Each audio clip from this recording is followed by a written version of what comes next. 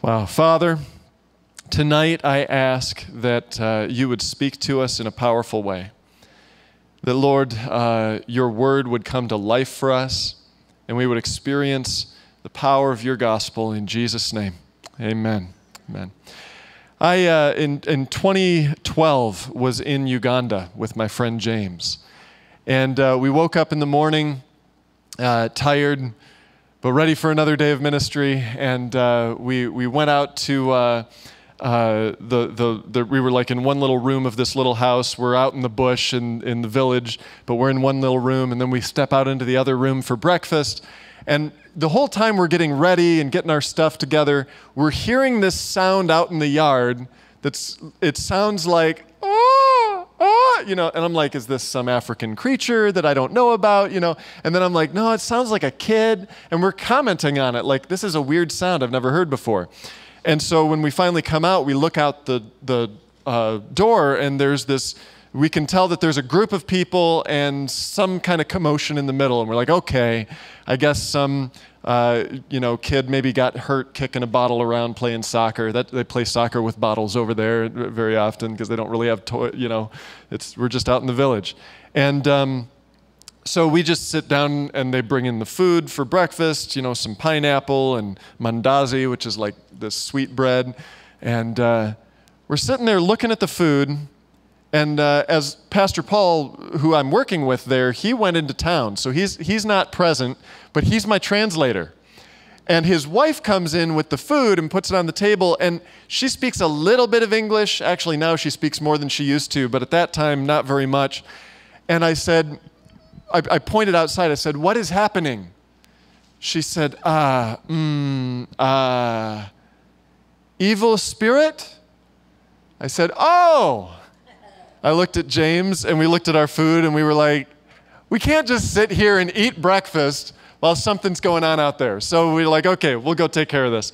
So we go out there. Now, what the scene we came up on was pandemonium there's this little girl. She's probably nine or 10 years old, and she's laying on the ground, and there's a woman sitting on each of her arms, a woman sitting on each of her legs, one kneeling behind her head, holding her head in place. And there's women standing around her in a circle over her, pointing and shouting, and it's all kinds of, it's just bananas. And I walked away from bananas to come to this. And it was crazy. It's like, what do, you, what do I even do? Now, James and I, uh, like, I, I'd been mentoring him for some time, and I taught him, like, deliverance ministry is ministry to a person, not to a demon, right? And so you minister with the nature of Jesus and the compassion of Jesus. And, you know, your authority in Christ is not based on the volume of your voice, it's based on the fact that you are seated with Christ in the heavenly realms, according to Ephesians 2 6. So you can whisper with authority and it'll be done, right? So James and I know what to do we squeeze our way into this circle and kneel down next to this little girl, and we start ministering quietly. Just come out right now in Jesus' name. And nothing is happening. This girl's got one eye crossed way over this way and one eye straight forward, and, and she's shouting things out as she's thrashing around, and these women are shouting things back. And I'm like, what is going on? I'm praying, like, Lord, what's, what am I supposed to do? How do I help this girl? James starts singing this song that they had just taught us in, uh, in their language of Luganda, and it goes, Hallelujah, Yesu mulunji, Yesu mulunji, Jesus is good. Yesu mulunji, katonda wafe. My God, so good to me. And he starts singing. As he sings, all the thrashing stops one eye wonky, still like sitting there, but but no thrashing around. And it was like, huh, this doesn't seem to be doing anything like you know, as soon as the song was over, the people all go back to their shouting and the thrashing starts again. We're like, well, that seems to be getting more of a rise out of this thing. Then I had this thought you know, demons are liars. And it would make sense that they would act like it's not working when it is and act like it is working when it's not. So maybe there was something to that. And just as I'm about to like figure out what to do, this crowd of ladies parts like the Red Sea, and this other lady comes storming in with a Bible in her hand. I didn't know who she was, but she sure looked important because everybody like got out of her way. And she comes up to this girl and takes her Bible and like like sticks it in the girl's throat and starts shouting something in her language. And I'm like, what is happening? And the demon's going, ah, you know, screaming. And I'm like, what is this? This is nonsense. And then, this was the one that got me mad. With her other hand, she slaps the girl. Uh huh. That's what I said. I'm like, this is not okay. I, it was like all of a sudden this, this fury from the Lord overtakes me, right? I said, Stop! I didn't know if anybody understood me. I said, Stop! Tell them to stop. I'm like hoping somebody can translate for me. Everybody stops talking and everything. The woman backs up. And I, I looked at Pastor Paul's wife, still not knowing if she could understand me. Her name's Helen. And I said, Tell them this kind only goes out by gentleness. I didn't know what I was saying. but I'm like, I'm desperate in this moment, right? And She says something to them. I don't know if she was translating for me or if she was saying, I have no idea what this man is saying, but he wants us to stop. But she said something and they, they stopped. And I looked at the women who were sitting on this girl who is still thrashing around. And I said, All of you, move. You, go, go, go. They all get off the girl. She's still thrashing, but she's not going anywhere. I kneeled down in front of her and I grabbed her hand and I looked her in her one eye that was going forward. and I smiled. And I said, In Jesus' name, come out of her right now. And both her eyes straight forward. And she blinks and she starts looking around like it was the first time she'd looked through her own eyes. It was crazy. James goes, She looks pretty tired. Let's get her a mat to sleep on. Someone goes and finds a reed mat. We put it under the tree and she lays down. And then we went and ate breakfast. Ah.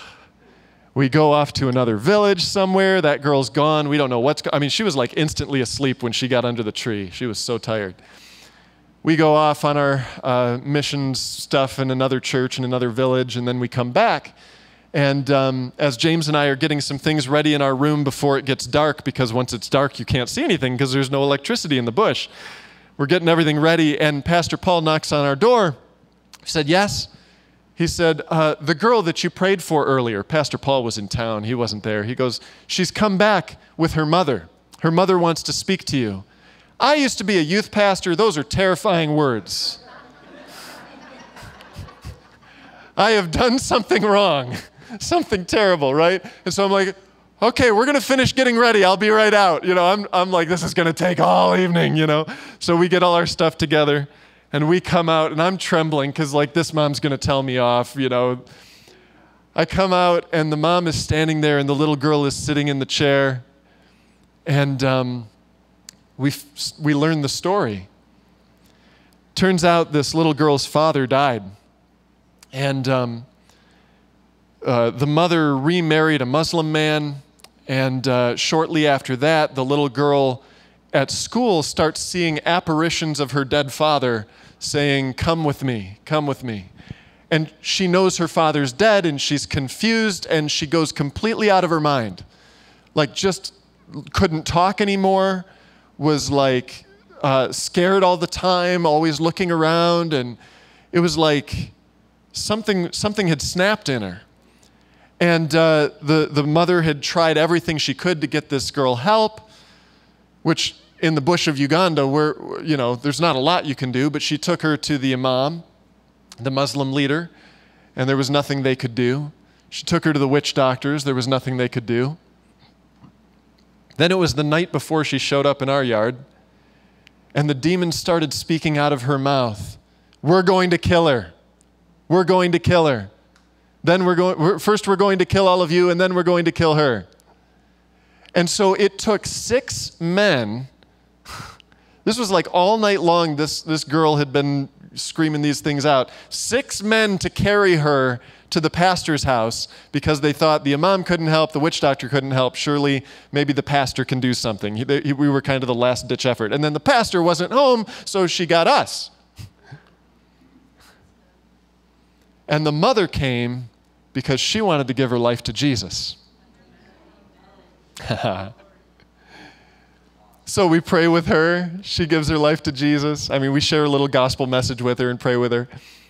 And then um, Pastor Paul says, You know, I was just thinking, uh, this little girl, I've, I've seen her come to the church a couple times, but she's never uh, given her life to Jesus.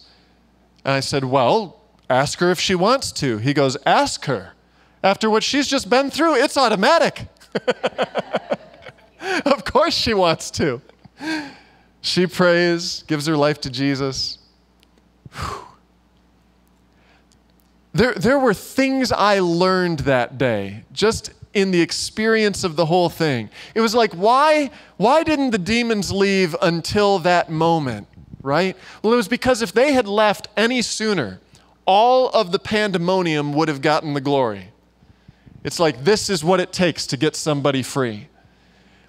And the reason people were doing all those jumping and shouting and pointing and slapping and Bible binding, sticking to the neck and all of that stuff, the reason they're doing it was because at some point they saw somebody do it and it worked. Now, whether it was actually working or whether the demons were putting on a show to make it look like it worked, I don't know. Whether those demons came back and made things worse, I don't, I don't know all that stuff. But somehow they picked up in their culture this is what we do. And when everybody was made to stop, and all I did was smile and speak with gentleness, it was done.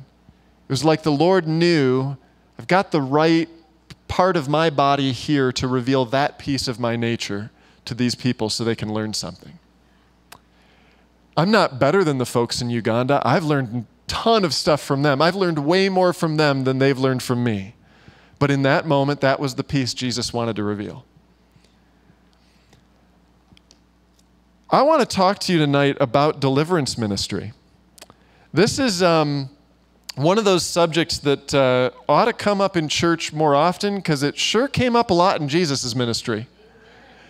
Um, but for whatever reason, you know, it's one of those subjects that, uh, you know, we, we might talk about outside of the church meeting, but I'm like, let's, let's do it. We're going to confront this thing. But there's, a, there's kind of like this this under the surface reason why I felt tonight I'm supposed to share about this.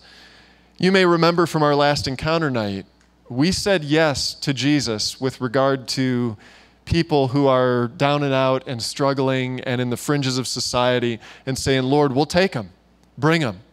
And right on the heels of that, those sorts of people started showing up at people's house churches. Crazy. Like, not even trying to make it happen, it just started happening people started contacting me with encounters they were having with people, and it, it was just like, well, the Lord must have heard you say yes. It's awesome. But part of this process is you're going to encounter people who have demonic influence in their lives and they need freedom. Now, listen, there is such a thing as mental illness.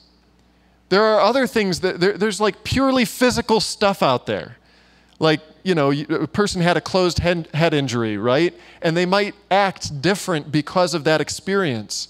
That doesn't mean they have a demon. They got hurt right? There's there's damage there or something. Um, there are certain prescription drugs that people go on that have side effects that cause their mind to go all kinds of different places and it it's super complicated. And and so I understand that there are some purely physical things out there and I I want to start out by pointing out like, I, I don't believe that every single problem is a demon. What I do believe is there are probably more demons that we're interacting with on a pretty regular basis than we might realize. When I'm in Africa, it's easy to spot them because everybody there already believes there are demons, and so the demons don't have any reason to hide. Over here, it seems their strategy is to fly under the radar and only do things that are diagnosable.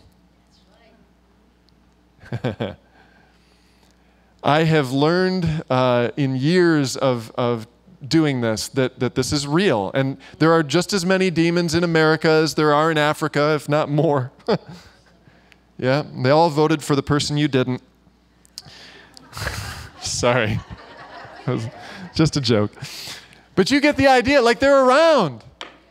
And, and this is real. And we've had it happen in our house churches where it's like, Like in, at the end of house church, people are praying for each other, and all of a sudden, a demon starts manifesting in someone, and we're like, okay, looks like we're doing this now.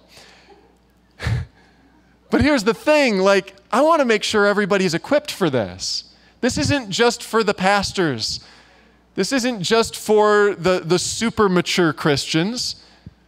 Here's the, here's the thing that really blows my mind. Jesus said, I think it was in Matthew 7, he said that at the final judgment, there's going to be people who say, Lord, Lord, didn't we prophesy in your name and work mighty miracles in your name and drive out demons in your name? And he says, Depart from me, I never knew you. That tells me that someone who doesn't even know Jesus can cast out demons in his name. Like, you casting out demons in the name of Jesus is not impressive. like that story I just told, not that impressive because you don't even have to know him to do it. His name is that powerful. We just sang that song earlier, Your Great Name, right? And how the kingdom of darkness is trembling in fear when they hear the name of Jesus. Wow. My goodness. Hmm. Here's the thing I want to read you a story in the book of Mark that is one of the most famous demon stories in the Bible. This is Mark chapter 5. And uh, this one I, I don't know. Like it comes right on the heels of that story where Jesus is sleeping in a boat and his disciples are freaking out because there's a storm going on and the waves are crashing and the boat's going to capsize or sink. And they're like, Jesus, you got to wake up. And Jesus, I just imagine him like wiping the water off of his eyes, you know, because it's pouring everywhere and waves crashing in. There's craziness going on. And he gets up, walks to the front of this wobbling boat half, half awake. Peace, be still. And then he turns to his disciples and goes, Where was your faith? like I was taking a nap. You could have done that. right on the heels of that, they come up on the other side of the lake. That makes me wonder if that storm was sent by demons to stop them from getting there. Because here's what happened next Mark 5, verse 1. They went across the lake to the region of the Gerasenes. When Jesus got out of the boat, a man with an impure spirit came from the tombs to meet him. The man lived in the tombs, and no one could bind him anymore, not even with a chain, for he had often been chained hand and foot. But he tore the chains apart and broke the irons on his feet. No one was strong enough to subdue him. Night and day among the tombs and in the hills, he would cry out and cut himself with stones. That's the description of a deeply tormented person. There's this, this supernatural strength that he has that is accompanied with rage. There's this emotional cry. He's cutting himself. You know, there, there are people today that cut themselves. And, and like, when, when you have a conversation, I, I remember one, one girl I was talking to uh, when I was a youth pastor, and she was confessing that she was cutting herself. And I said, I, I don't mean this in a condescending way, but I, I want to understand. Can you tell me why? Now, I don't know if this is the case for everybody, but she said, For me, it's the only escape from what I'm feeling.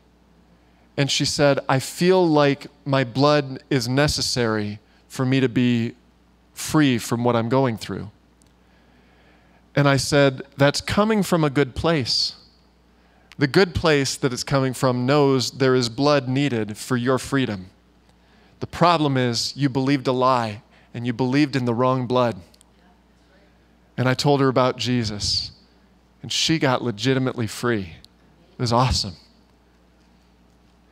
Here's this guy. All this going on. Verse 6 When he saw Jesus from a distance, now think about this. The guy's got a bunch of demons in him. What I would expect to happen is he sees Jesus from a distance and he hightails it into the tombs. I'm out of here. Instead, he sees Jesus at a distance. He ran and fell on his knees in front of him. He shouted at the top of his voice, What do you want with me, Jesus, Son of the Most High God? In God's name, don't torture me. For Jesus had said to him, Come out of this man, you impure spirit. There's a few things going on here. Did you know if you are walking in the power of the Spirit, the demons will come to you? You don't have to go hunting for them. Like it may look sometimes it's like you're praying for somebody. I've had this happen many times. I'm praying for someone for healing. Let's say it was their right shoulder is hurting.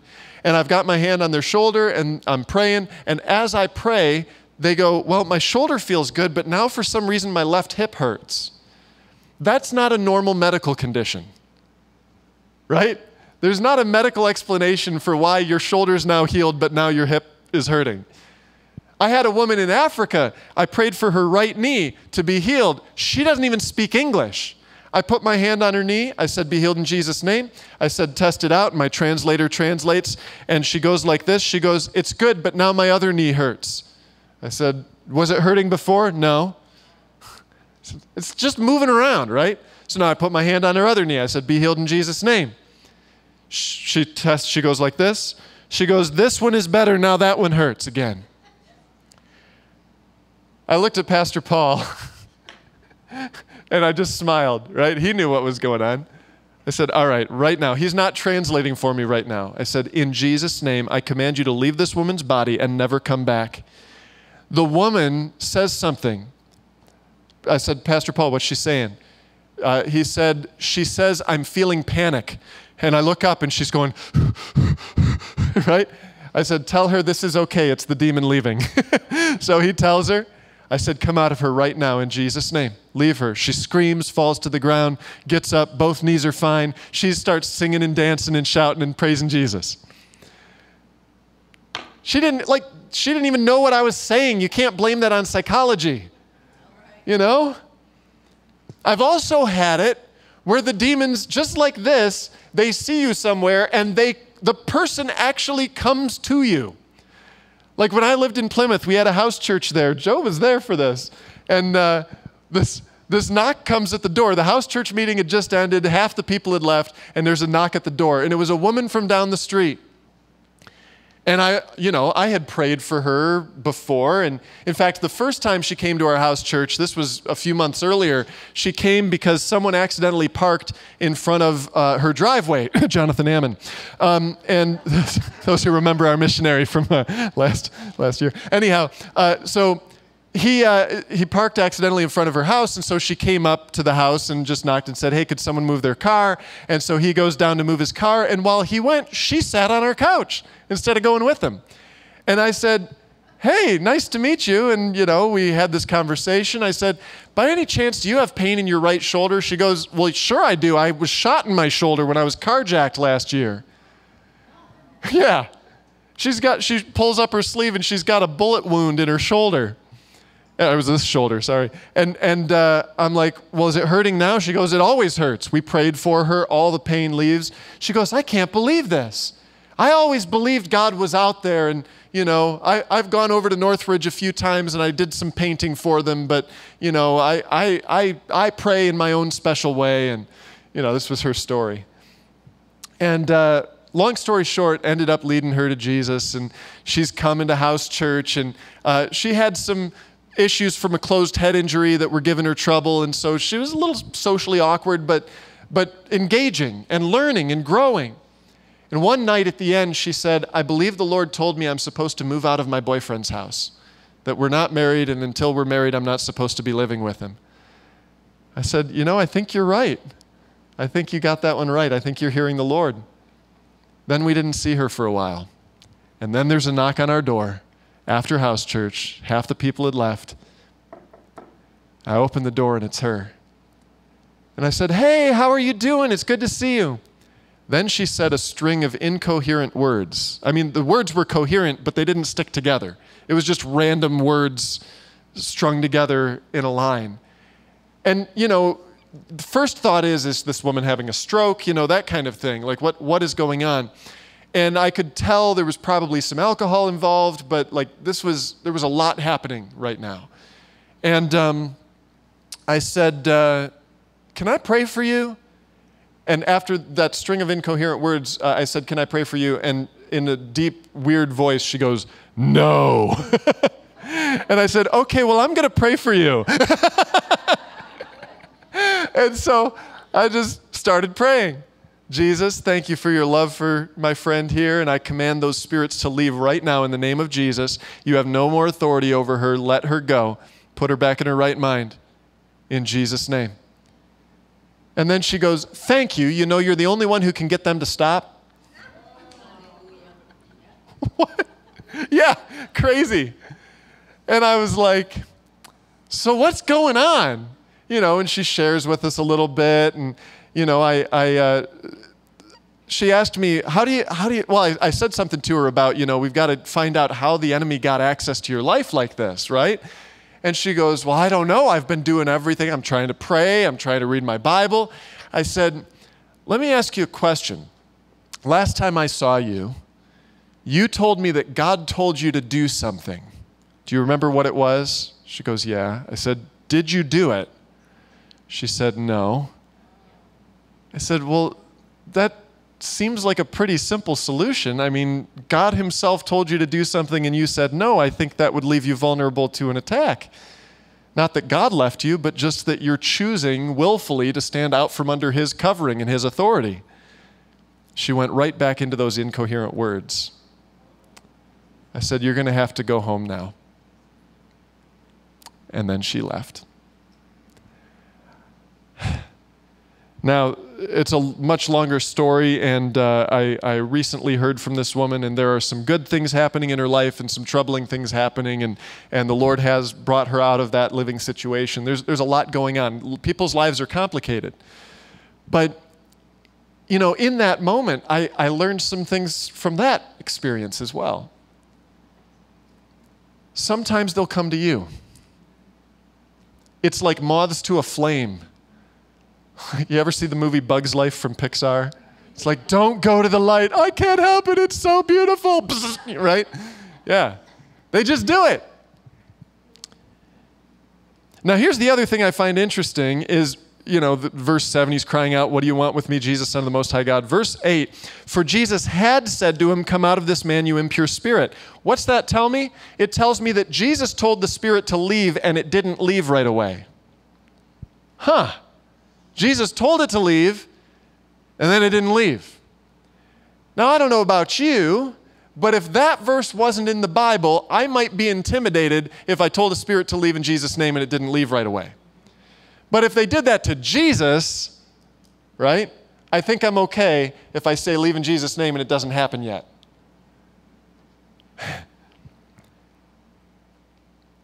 Gosh, there's so many stories let me just continue with this.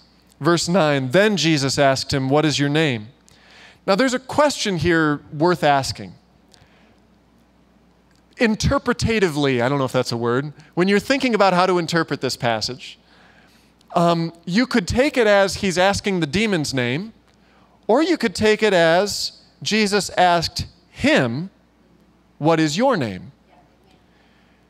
Almost like uh, like troubleshooting, even. I don't know, I'm sure Jesus is way more discerning than we are, right?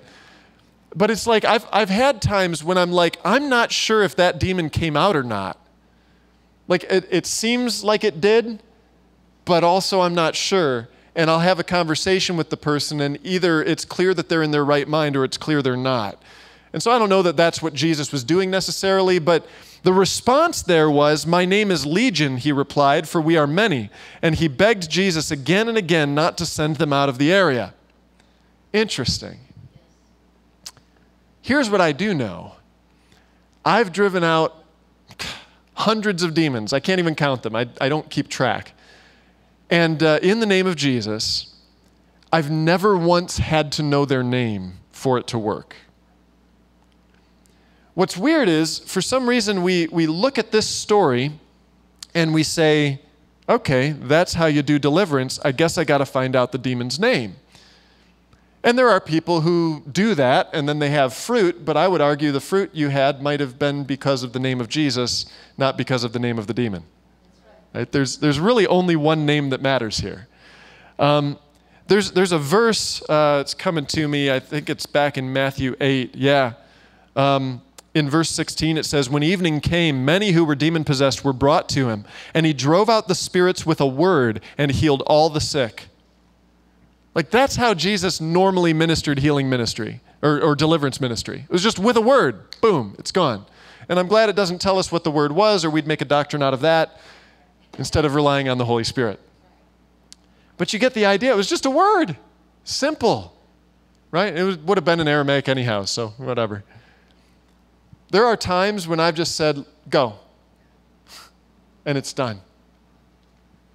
Times when I've just said, it's over, come out, and it's done. Most of the time, it's this very simple, very quick thing, not a long, drawn out process. And so it's simple. It's really simple. Once in a while, you get one of those pesky boogers like this one that you just can't flick off your finger, those kind of boogers, right? And it's like, like I, I did the little flick and it's still there, right? And you just keep going, right? You don't stop. I'm not looking at Joe right now. I'm afraid he's like biting into his finger or something. You would do that to me. You would, yeah. All right. Sorry. Verse 11. Oh, uh, let me let me look again. My name is Legion, he replied, for we are many. And he begged Jesus again and again not to send them out of the area. You know you can send demons out of the area? That's interesting.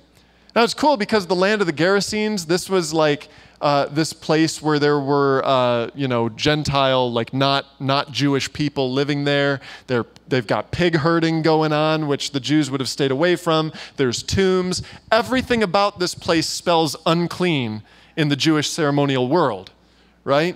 There's an unclean, uh, like if you touch a dead body, you're ceremonially unclean until you go through the cleansing rituals, right? The touch a pig, ceremonially unclean until you go through the cleansing rituals.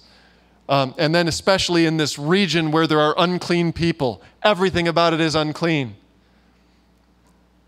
Hmm. Remember what it was that Jesus said, Come out of this man, you impure spirit? Another version says, You unclean spirit. Isn't it interesting that an unclean spirit would want to hang around in an unclean place? There was a, um, a time when, uh, actually, the very first house church my wife and I had, uh, was, she was just my girlfriend at the time.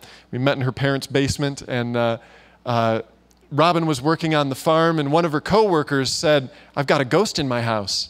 And my wife, my girlfriend, she goes, What? she says, Yeah uh, it's like weird stuff going on. My boyfriend and our and our uh, like he's got two little boys, uh, three and five from a, a, previous marriage, and and like the kids will be playing, and then some man's voice will go hello, it like freaks everybody out. And then like the kids like they sleep in separate rooms, and and late at night both of them sit up in their beds in the separate rooms, like across the hall from each other, and both of them start yelling, Scary man, scary man the deadbolt on the doors clicking back and forth. And Robin's like, all right. Robin comes and tells me this crazy story. Isn't that wild? What should I do? I said, well, tell her we're Christians, and if you want them gone, give us a call. We know what to do about this stuff. Yeah. we're Christians, we know how to deal with this stuff. So we, uh, we, we, she tells her friend, and her friend kind of chuckles it off, right? Like, okay. And then that Sunday, one of I think it was me, it might have been Robin, one of us gets a call on our cell phone, and it's this girl. And uh, she goes, Were you serious about being able to get these things to leave? I was like, Yeah. She said, Okay, because last night my boyfriend woke up in the morning with a human bite mark on his arm, and we don't know where it came from, and we're freaked out. We've sent the kids off to grandma's house, and uh, like, we, we need something. I'm like, okay.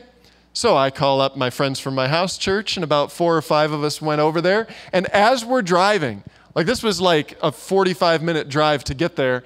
And as we're driving, I'm praying, Lord, what's going on? How, how do you want to do this? Like, give me some insight. I don't want to go in blind. And I had a vision. Now, vision sounds super spiritual, but it was just a picture in my head. Like when you think in pictures, right? Like if I say picture a pencil, you can see a pencil even though you don't see a pencil, right? So it's not like I was anyone in the car was in any danger that I couldn't see. But you know, I had this this picture in my mind of uh, this old man and a little girl, and I'm like, what is going on? What am I even supposed to do with this, Lord? Lord, would you show me more? And then, you know, those old, like, um, masks that they would use in the old world theater that have the handles under the chins and the, you know, that sort of thing. The old man and the little girl take these masks off like that, and behind the masks, I see demons laughing and pointing and slapping their knees like they're just mocking somebody. And I'm like, what in the world is this? Now, here's the thing in the scripture, there's not like a list of demon species or anything like that. Like, you don't need any of that stuff. Jesus used certain uh, terms for demons, like you unclean spirit or you deaf and mute spirit, come out. I mean, the demon wasn't deaf or mute, or it wouldn't have heard him say, come out. You know? He called them according to what they were doing. Right? This unclean, impure spirit had this guy running around in the tombs. Right? You get the idea? The deaf and mute spirit made someone deaf and mute. Doesn't mean everybody who's deaf and mute has a demon, but sometimes that's the case, right? So in that moment, all I saw was this picture of the slap in the knee and pointing, and I go, okay, I guess these are mocking spirits. I'd never heard of a mocking spirit. I didn't read this in a book somewhere. I'm just calling it what I see, right? And so we get to the house. We go in, we all sit down in the living room. They explain to everybody the problem of everything crazy going on. He shows us the bite mark. And then uh, I said, okay, let me tell you what I saw on the way over here. I saw, I explained the vision, and as I explained it, I had a word of knowledge. That's where the Lord reveals to you something only Jesus knows, right? And so it was like I suddenly knew what that whole scene was about that I saw. I said, These spirits are mocking the two of you. Oh, in fact, when I said the old man and the little girl that I saw, their jaws fell open, like the husband, or not the husband and wife, the boyfriend and girlfriend. And they go, that's what the kids say they keep seeing is an old man and a little girl. They hadn't given us those details. We just heard scary man. And now I'm like, okay, I'm onto something. So now I'm a little bolder, right? And um, a little bolder is a pebble, by the way. Anyhow, um, sorry. I can't. Get, this is ADD. Okay, back on track. So I, I, uh, I told them the story, and suddenly I knew something more. And I said, The, the old man uh, spirit, I looked at the, the boyfriend. I said, The old man spirit is mocking you because three years ago you were a strong Christian and you gave it all up to take on your old man again. He goes, How do you know that? I mean, I'd never met this person, right? I said, Jesus knows. He sees it. This is real. He goes, Oh, I believe it. I turned to the girlfriend. I said, And the little girl spirit is mocking you because something traumatic happened to you when you were three or four years old. And ever since then, when you picture yourself in your mind, you see yourself as a scared little girl. And you've been spiritually stunted in your heart since that time. She starts weeping. Robin goes over and wraps her arms around her and starts praying for her. to make a very long story short, uh, the kids came home the next day from grandma's house. I told this couple, listen, you're going to have to decide what you're going to do. I'm going to tell these spirits to leave you alone tonight. But, like, oh, and this is what triggered this story in my memory. Remember the darkness thing? I said, and, and leaving the area? I said, oh, oh, because the, the, the boyfriend, he had told me, I've been going around the house saying, leave now, get out, get out of my house, and they won't leave. I said, listen, if you put a plate of sugar in front of your door and a bunch of ants started coming in, and you stood there yelling at the ants, telling them to leave, what's going to happen? He said, Well, they're going to keep coming. I got to get rid of the plate. I said, Bingo. I said, The kingdom of darkness is attracted to darkness. And if you want to live in freedom, you've got to give up your lifestyle of darkness. And I said, if you're going to follow Jesus, it's going to look really intense. Like you're going to give up a whole lot of things in your life. A lot of things change. And because the two of you, your lives are so enmeshed right now, this is going to have to be a together decision if this is going to work for you guys. And it would look like you are choosing celibacy, like you are choosing marriage, uh, like, like this is going to be difficult. So I said, I'm not going to ask you to make a decision tonight. If you decide tomorrow that you want to follow Jesus, give me a call. You can come to our house church meeting. That's when we used to meet on Monday nights in that group. And so the next day, I'm waiting for a phone call. I finally get a phone call at like 15 minutes to our house church time. And the guy goes, Are you guys still meeting tonight? I said, Yeah. He goes, All right, the kids came home from grandma's house. The three year old has been walking all over the house all day going, Where's the scare or where's the little girl? I can't find the little girl. He said, We have had peace like we've never had in this house. We slept through the night. We're ready to follow Jesus. We both decided we're in. They gave their lives to Jesus, immediately started sleeping in separate bedrooms. He had some uh, injuries and things that incapacitated him, so she's still in the house as a caregiver for the kids. He puts a ring in the ribbon of the Bible and proposes to her, and there's a whole wonderful story. And there's more to this that doesn't pertain to the topic tonight that maybe you'll hear another time. It was awesome. Like they start coming to house church, their lives got turned around. It was incredible. The kingdom of darkness is attracted to darkness. There's stuff that people have in their lives. There is stuff that some of you have in your life that is attracting darkness.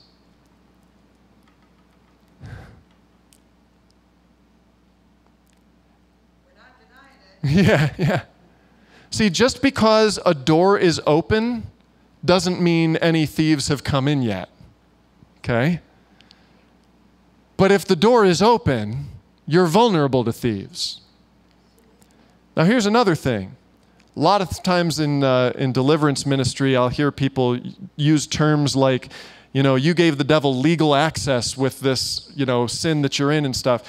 I don't like that term. There's a reason. Because they're there illegally.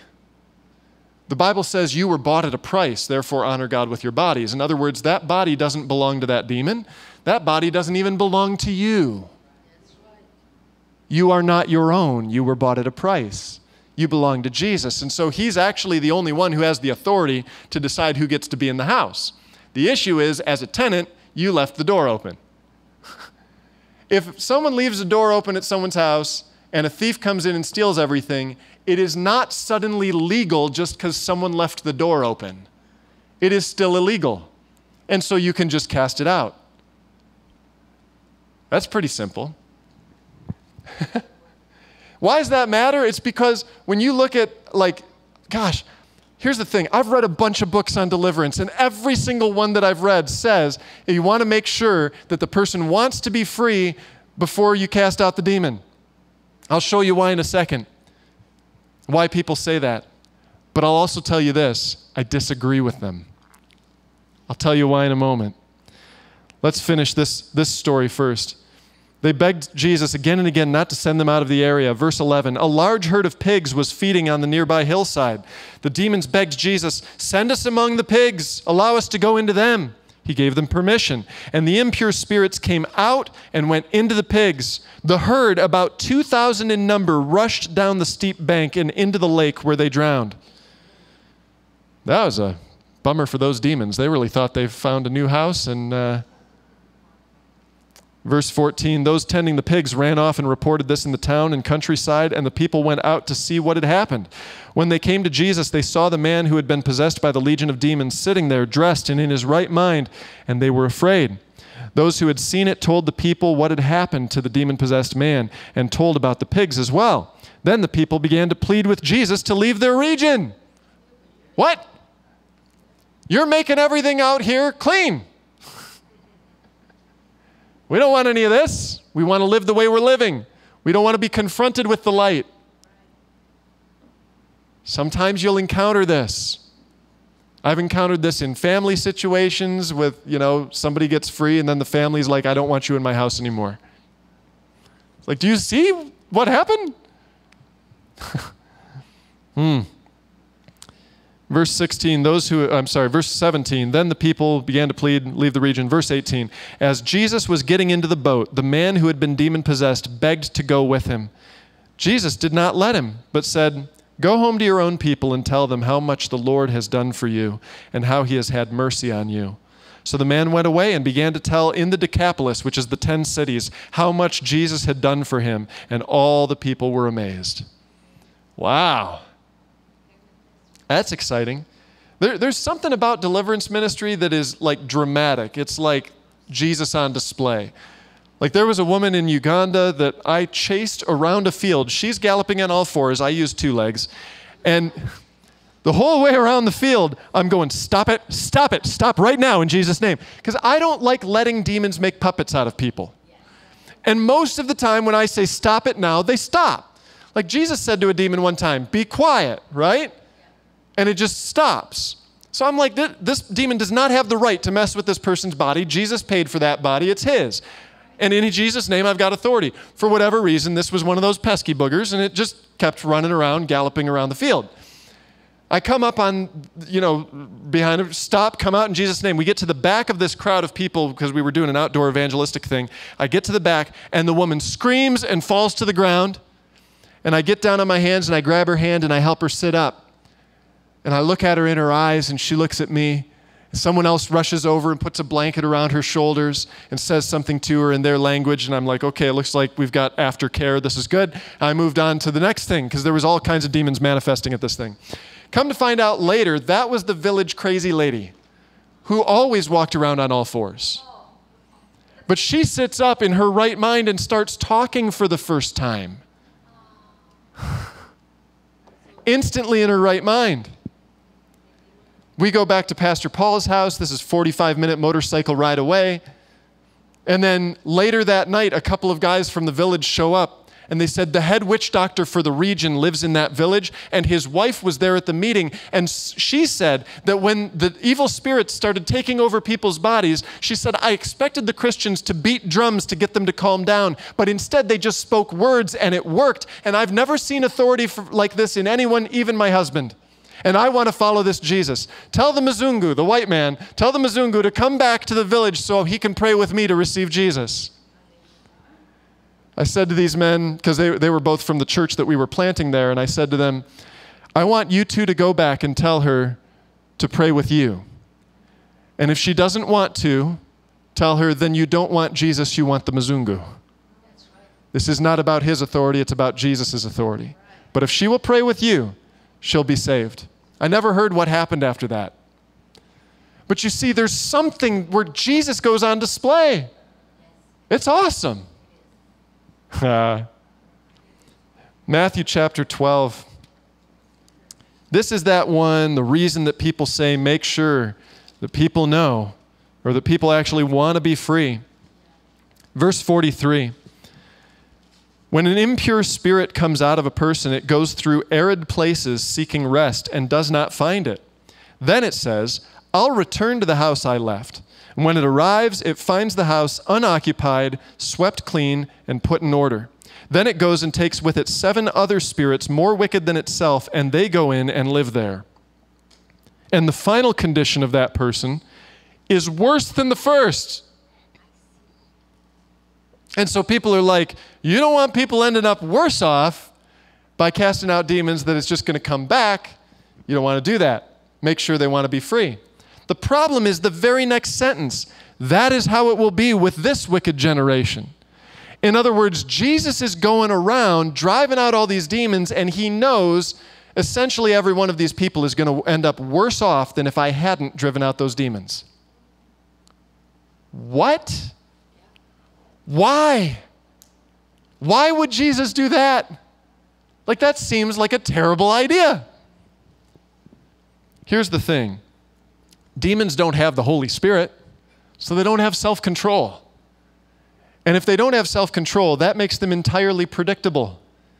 And so, even though they are utterly rebellious against God, they can't stop themselves from rebelling, and that makes them so predictable they become unwitting pawns in accomplishing God's will. Why? Because they make people miserable in their sin. yeah.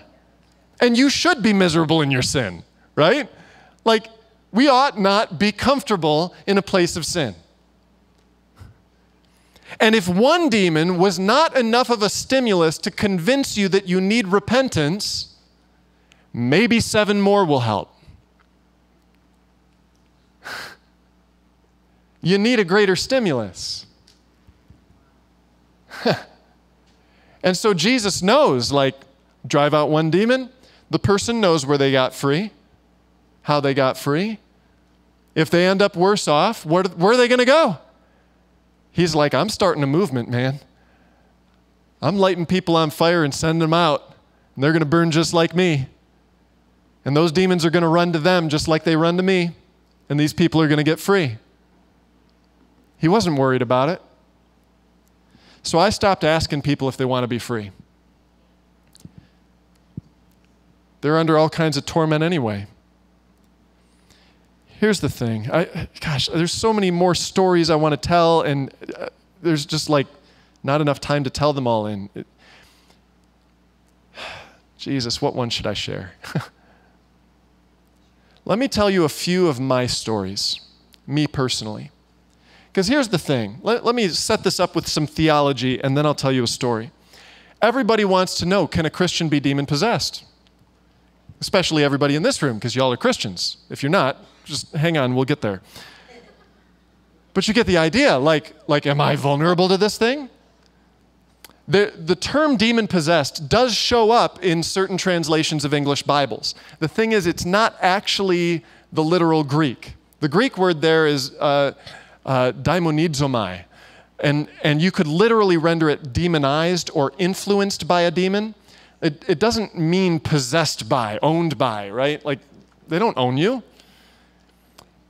It's, it's a term that maybe is descriptive of what it looks like when a demon starts taking over in somebody. It's like that person is possessed, like you, like you see it like that. But that's not the truth of what's going on. They are influenced by a demon. So here's really the question Can Christians be influenced by demons? On any scale, like if this is a spectrum of like severe to not so severe, well, well, sure. If you couldn't, why would we have scriptures like, you know, take up the shield of faith with which you can extinguish all the fiery darts of the evil one, let alone put on the full armor of God so you can take your stand against the devil's schemes? Or, or uh, you know, be sober minded and alert because your enemy, the devil, roams around like a roaring lion seeking whom he may devour. Or, or uh, uh, don't let the sun go down on your anger and don't give the devil a foothold, right? So, like, there's a whole lot of scriptures there showing that Christians can be influenced by demons. The question is to what degree, right? And so I have a confidence that as a Christian with an awakened spirit, empowered by the living God, right? The amount of influence that an evil spirit is going to get over me is like nothing.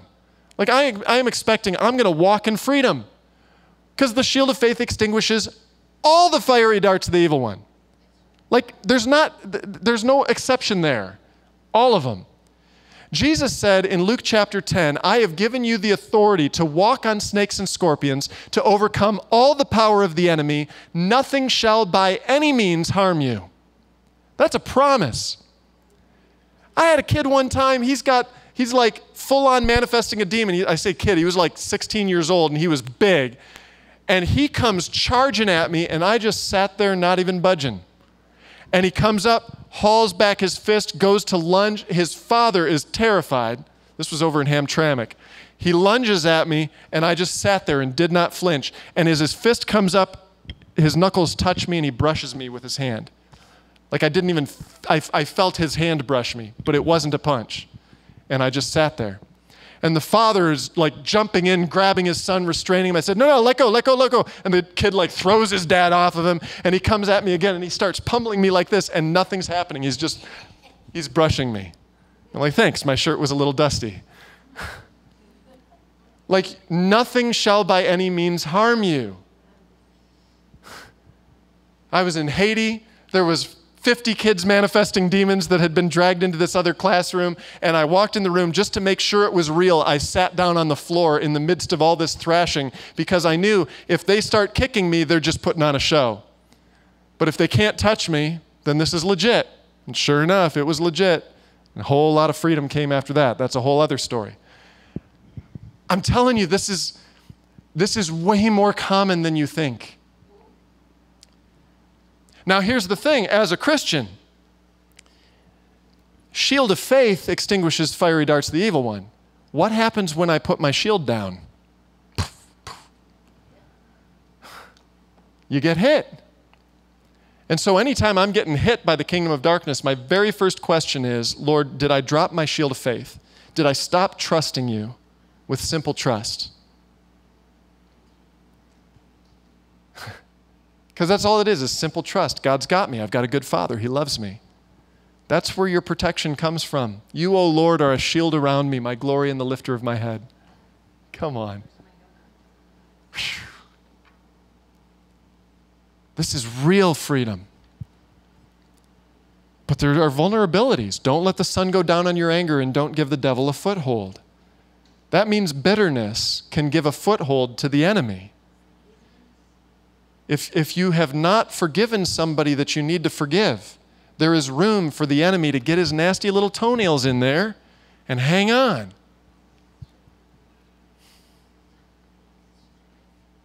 You see? Yeah, strife, greed, all of it. If you want a list of them, go look at Ephesians 4. That's where that whole sun go down on your anger thing is. There's a whole bunch of other stuff unwholesome talk, coarse joking, drunkenness, yeah, lust. Uh huh. There's a whole lot of stuff.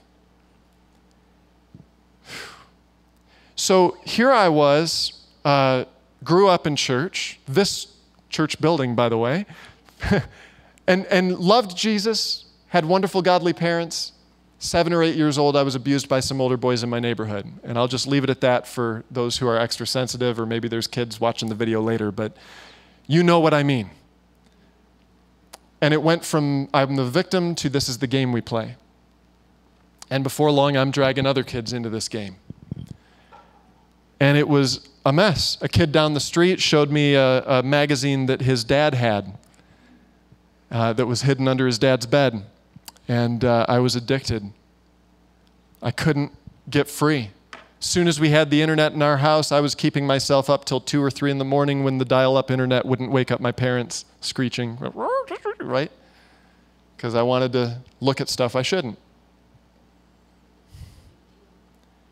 And I was addicted. And the thing was, here's the worst part I really, really loved Jesus. And I desperately wanted to be free. And I tried so stinking hard to get free. And the most I could ever make it was maybe two weeks.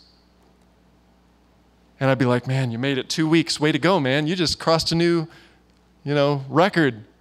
And it was almost, you know, you know how the scripture says pride goes before destruction and a haughty heart before a fall. It was like God was going, Oh, you thought you did that without grace? Watch what you can do without grace. And He removed that hand of favor that was empowering me to live free for those two weeks, and I fell right back into the same stuff. And I hated it and I hated myself and I hated the boys for what they'd done to me, and I hated the friend down, down the street for introducing me to this stuff, and I, I hated God for letting it happen, even though I really loved Jesus. I know there's some theological issues with that, but this is how emotions work, you know?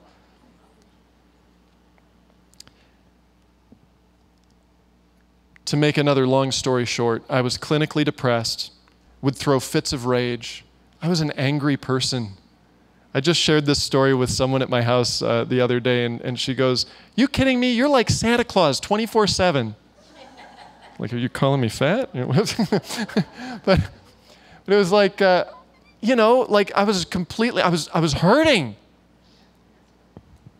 I could put on a good face at church. I was hurting. I was scared. I was addicted and I was lost. My family and I went to another church. An evangelist came.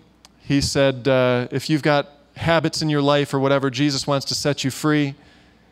And I was too proud to go forward for the altar call because I didn't want anybody to know I'm one of those people that I've got issues. We just started coming here. They let me on the worship team. I don't want them finding out I got issues. And then he did his altar call, and everybody in the youth group got up, including our youth pastor, and I was too proud to be the only person sitting down. That pride got a hold of me, And I went and stood in the back with the other students and hoped that the guy didn't come over to me, but he did. And he said, What can I pray for you about? And I mumbled. He goes, No, no, no, what? I said, I have a problem with lust. His response, Oh, is that all? Best response I could have ever asked for. I thought it was the biggest, most impossible thing in the world. And he was like, That thing? I've seen that one go a lot of times. He goes, Spirit of lust and sensuality, leave right now in Jesus' name. Now, I'm not telling you this has to happen to you. I can just tell you what happened to me. I flew backwards six feet, landed on the floor, and when I sat up, I was thinking clean thoughts. I wasn't looking at every girl in the youth group. I was free. And I'm like, what? I'm like, this is crazy. It was like everything looked brighter. It was awesome.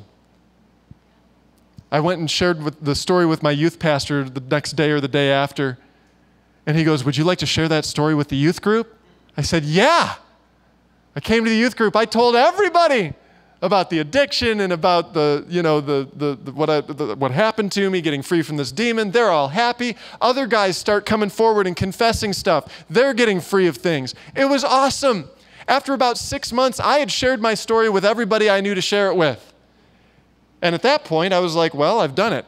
I've accomplished the goal. And that's when this little thought crept in you know, you could go right back to the same stuff you used to do, and nobody would be any damaged because they've all heard the testimony, so no harm done. You can go have some fun. Remember what Jesus said would happen. The Spirit comes back looking for a place to rest. That, where do you think that thought came from? I went right back into it, and I was worse off then than I ever had been before. More addicted, in deeper darkness, and that's when I went and helped plant a church in Fowlerville and was leading worship and youth ministry. I'm a church planter. And I was deeply, deeply addicted. How did I get free? Pastor Dan took us on a retreat with another church, actually pastored by my former youth pastor. And at that retreat, the Lord started working on my heart, and I forgave those boys in my neighborhood for the abuse. It was the first time I had actually allowed myself to take an account for it and say that wasn't okay, and I accept that it was real, and I forgive them. And when I forgave them, this time I didn't fly backwards and hit the floor. It was just the foothold was gone. The enemy had no more grip, and I was free. I'm telling you, like, these access points matter. They matter.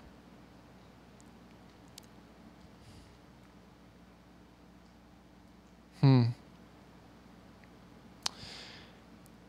I'm not going to read you this scripture. I just want to tell it to you. In 2 Corinthians chapter 10, Paul says that the weapons of our warfare are not carnal, but they are mighty to the tearing down of strongholds. And he said, We cast down every thought and pretension of the heart that exalts itself against the knowledge of Christ. And we make it obedient to Christ. Hmm. Strongholds. Remember, Jesus said, The demon comes back and finds the house swept clean and empty? I've often heard it taught that means you got to get the person filled up with the Holy Spirit. But I have seen people go through that process of getting filled up with the Holy Spirit and still end up worse off than they were. It happened to me. I was a spirit baptized believer, full of the Spirit, going out praying for people and everything, and stuff came back. So, just practically speaking, that interpretation doesn't bear out in my experience. So then the question is what are you supposed to do? The problem isn't that the house is empty, the problem is there's a house there is a structure of the heart that is there. It is made of thoughts and pretensions of the heart. It's called a stronghold, which is another word for a castle. Just because you have a stronghold doesn't mean you have a demon. But again, if the house is there and the door is open, they've got a foothold. They've got a place where they can take up residence and hang out. So when I drive a demon out of somebody, when I got a demon cast out of me, the, the best thing that can happen is the stronghold being demolished, destroying that bitterness and rage with forgiveness. You see? I wish there was time tonight to tell you more stories. I, I have hundreds of them. And they all come down to this same truth that Jesus empowers his people, that his name has authority, that people can be instantly free. Ah, I'm like, too many stories coming. Pastor Joseph in Uganda. He runs a Compassion International Center and a school and a church and a Bible school. He co runs it with Pastor Paul. And then guess what? He used to be completely out of his mind, insane in a mental hospital. Something about a witch doctor putting a curse on him in high school, and he just went off the deep end. And he's in a padded room in a mental hospital, and this Pentecostal couple comes to the hospital and says, Give us your most difficult case. And they walked in there and they said, Come out of this man right now in the name of Jesus. Instantly, and he's in his right mind. And now Pastor Joseph runs all this stuff. Like, this is the kind of freedom that's available. I, I wrote something down in my phone. I feel like this is really important.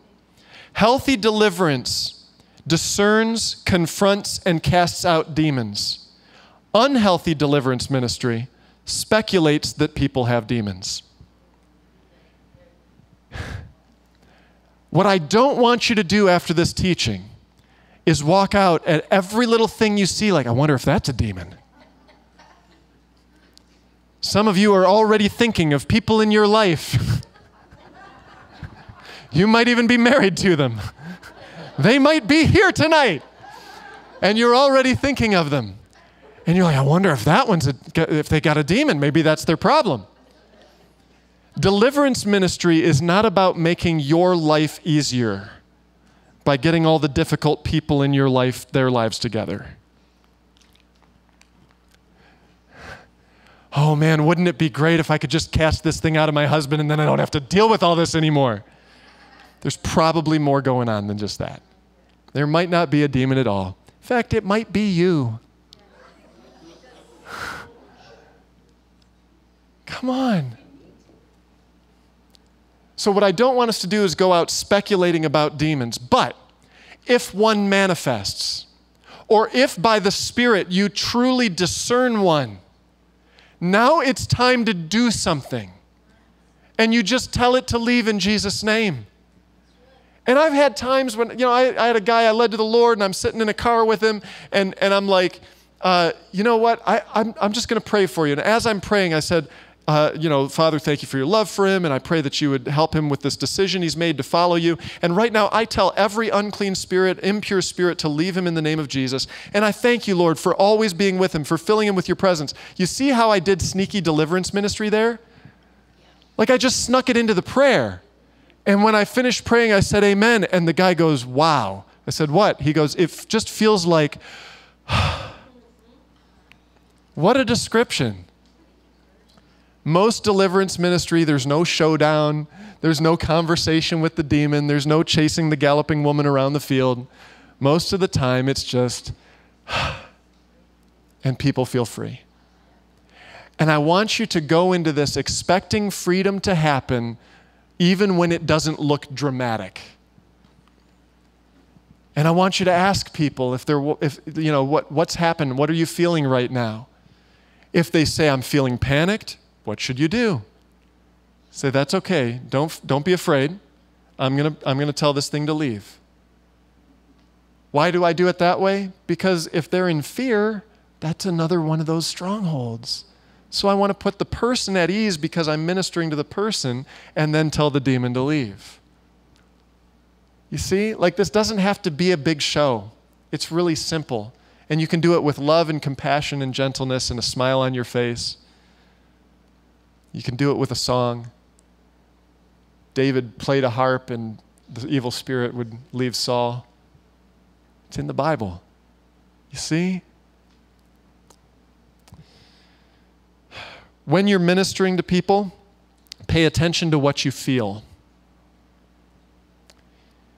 I've had times where I'm ministering deliverance to somebody. Actually, at one time I was praying for healing for somebody, and suddenly I, I noticed that, like, I started noticing women. And I'm like, wait a minute, this is uncharacteristic for me because I'm free from that, and it's been a decade I've been free. Like, I, it's one thing to notice someone's pretty, but it's another thing to notice, right? That's where I was. And I'm like, I could have in that moment been like, uh oh, I'm not qualified to do deliverance ministry. Instead, I'm like, wait a minute, that's not me. Spirit of lust, leave in Jesus' name. How did you know I was dealing with lust? I'm just picking up on what is going on there. Sometimes you're deliver, ministering deliverance ministry and you start to feel scared. What do you think it is? Spirit of fear. Because you're a spirit baptized, born again believer with the living God in you. You're not a scared person. You're not fearful. That's not who you are. So when you know your identity in Christ, it's really easy to spot that stuff and be like, oh, that's not me. And so you start to feel scared, and instead of cowering and backing down, you just go, Spirit of fear, leave in Jesus' name. How did you know I was dealing with fear? You were feeling it. I can't tell you how many times I've had people bring a deliverance ministry case to me, like other Christians and they're like, I just, I don't know, I, I feel like I need you to do this, like it's just not working for me. And I end up casting out a spirit of insecurity and inadequacy. And you see? Like these times when you start thinking, I got to bring in the big guns because I just don't have it. One of two things is going on. Either you've got spiritual doors wide open in your life and you legitimately aren't equipped for it, in which case, yeah, bring in the big guns and then we'll deal with your stuff. Or that spirit is attacking your identity and trying to convince you that you're incapable of ministering. All this stuff takes is recognizing what it is that's going on. You've got your spouse in a fit of rage at you, and you start feeling rage build up in you. What do you think's going on? Some of it could be fight or flight but there also might be something spiritual going on. Now, if you don't know for sure, I don't recommend saying, Spirit of rage, leave my spouse right now, because uh, that might make the, the person who doesn't have a demon even angrier. But I have ministered under my breath before. Leave right now in Jesus' name. They can hear you. And when I've done that, either the person calms down or nothing changes, or they get louder. Either way, if nothing changes, I just am like, okay, I guess it wasn't that. But if they get louder or they calm down, I'm like, okay, found one. In our school of ministry, we have a whole like two hour class on this subject, and there's just not enough time to talk about it all. In fact, I shared things with you tonight that I didn't even teach the school of ministry. So, ta da! If you want to learn more, join the school of ministry next year. It's going to be awesome. But here's, here's what I want to do tonight. We've run over time. Uh, I, I, just I felt like we needed to make sure those little bits at the end were really fresh in our minds. Because here's what's going to happen. We're going to have people coming to our house churches that are tormented by the enemy. And they've got plates of sugar laying in front of their door. They're living in darkness.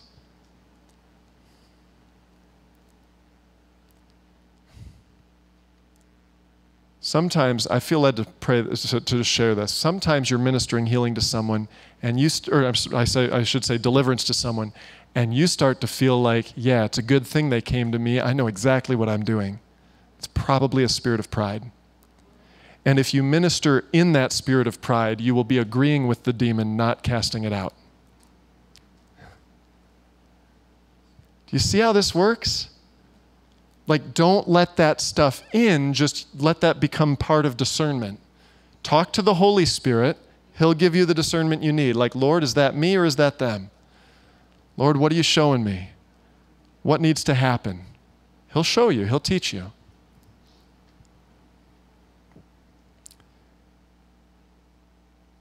We're going to have people who have this stuff. We probably already do. There are probably some of us in this room that are dealing with darkness right now. And I don't know if you've got a demon or if you've just got a door open. But I'm telling you right now, I'm expecting all of that stuff to be done tonight. I want to see freedom because Jesus made it available and it's easy. Can we pray together? Holy Spirit, you're the one that the scripture says convicts the world of guilt in regard to sin, righteousness, and judgment. You're the one who speaks to our hearts and brings things to our remembrance and gives us the mind of Christ and all of those things. And I ask you, Lord, right now to speak to each one of us if there is any bitterness, anyone we need to forgive. Would you speak to us right now? Show us their faces, remind us of their names.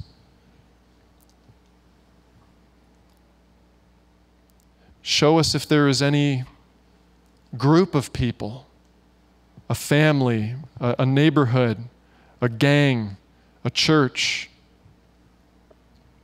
that we need to forgive.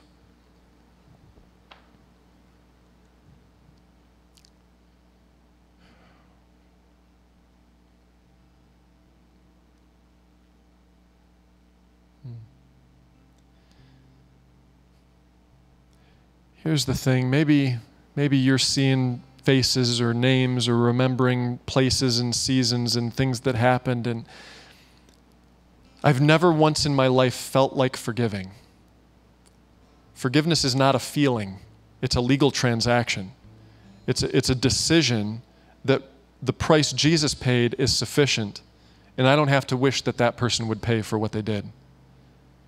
Jesus paid for what they did.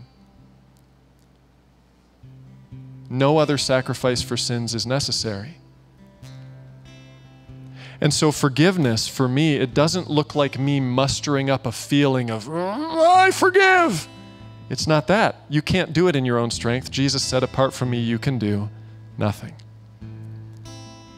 Real biblical forgiveness looks like putting the old bitter person that you once were on the cross with Jesus where that person belongs and considering you and your, your bitter self dead and saying, Holy Spirit, would you come and express the forgiveness of Jesus through me? The forgiveness of the one who, while they were crucifying him, said, Father, forgive them, for they know not what they do. That Jesus, would you come and live that through me? And so, right now, if, if you're recognizing there are people you need to forgive, I don't want you to simply say, I forgive you.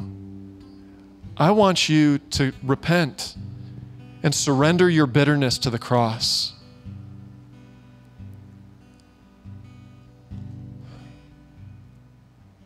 Holy Spirit, come in a new way.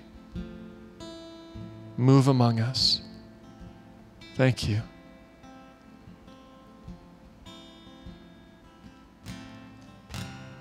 And now, in the name of Jesus, I want you to say, I choose to forgive those people or that person. Say their name if you have to. I choose to forgive this person for what they did. Put words to it. Open your mouth. Don't let it just be a floating thought.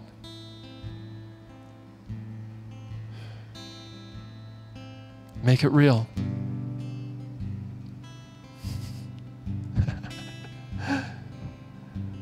Can already feel it. Some of you are getting free already. Just like happened to me, the demons just losing their grip. They have nothing to hold on to. Thank you, Lord.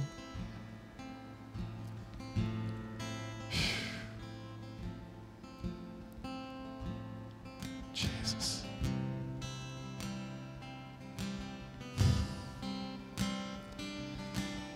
Right now, in the name of Jesus.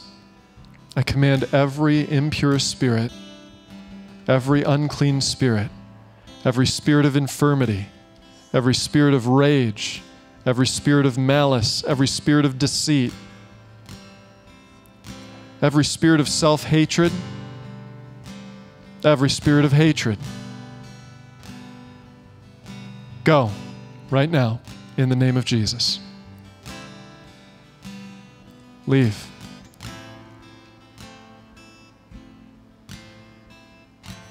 And never come back.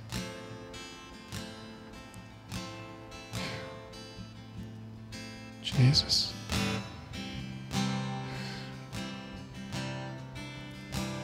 Jesus. Thank you, Lord. Thank you, Lord.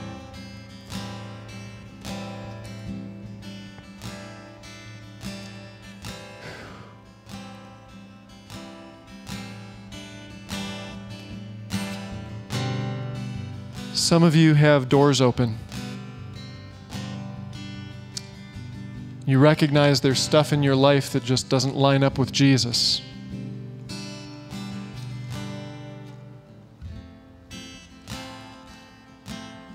Ephesians chapter 4, verse 22 says, You were taught with regard to your former way of life to put off your old self, which is being corrupted by its deceitful desires, to be made new in the attitude of your minds, and to put on the new self, created to be like God in true righteousness and holiness. God doesn't have any doors open to the enemy. He's truly righteous and holy. And that's who you're created to be like. Wow. Therefore, each of you must put off falsehood and speak truthfully to your neighbor, for we're all members of one body. One of the falsehoods that needs to be put off is pretending. Pretending you're someone you're not, trying to put on a good face. Let's just be real with each other. In your anger, do not sin. Do not let the sun go down while you're still angry, and do not give the devil a foothold. Anyone who has been stealing must steal no longer, but must work, doing something useful with their own hands, that they may have something to share with those in need. Do not let any unwholesome talk come out of your mouths, but only what is helpful for building others up according to their needs, that it may benefit those who listen. Did you hear that? The words coming out of your mouth aren't for your benefit, it's for theirs. And do not grieve the Holy Spirit of God, with whom you were sealed for the day of redemption. Holy Spirit, if there is any way any of us have grieved you, we're sorry. And we receive your forgiveness. Thank you, Jesus, for paying the price. Thank you, Father, for your love. Get rid of all bitterness, rage, and anger brawling and slander, along with every form of malice. How do you get rid of it? You put it on the cross. Jesus, I consider that person dead. And when you start to feel those feelings later where you want to jump back into that fit of rage, you go, nope, uh uh-uh. uh. That's not who I am. You spirit of rage, you get away from me in Jesus' name. You do not belong here. I'm encouraging you to take authority for yourself, for your own good. Don't wait for someone else to cast it out. You've got the authority. You're a child of God. You don't have to let these things in. Be kind and compassionate to one another, forgiving each other, just as in Christ God forgave you. Lord, help us. Lord, any areas of our lives where we've left the door open, we put it on the cross and we consider it dead with Christ in the name of Jesus. And we don't just put off the old self, Lord, we also put on the new self that is created to be like you in true righteousness and holiness. We believe that the new creation is real, that you have done a good work in us, and you will be faithful to carry it through to completion until the day of Christ Jesus. Lord, thank you. You're so good. So good.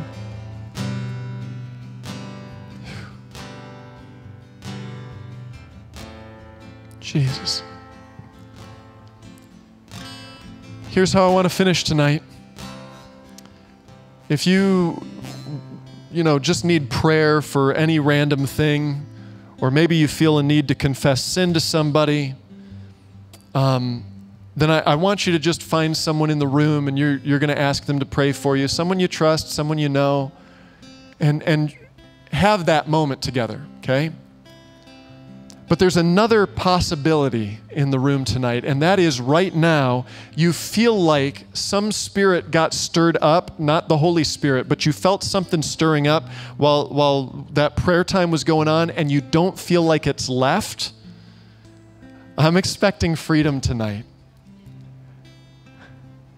I've been set free from three different demons as a Christian, and I will not look on you with any bit of condemnation. I know exactly what's going on. In fact, one of them was a week before I started traveling ministry while I was a pastor with credentials, had a spirit come out of me. So listen, there is no judgment, no condemnation. It is this is about freedom. It's about saying, no more am I just going to wallow in this thing. I'm done. I feel something that's still there and it's not letting go. I want you to pray for me. If that's you, I want you to come to the front here. So let's all stand up. Everybody stand. Jesus, thank you.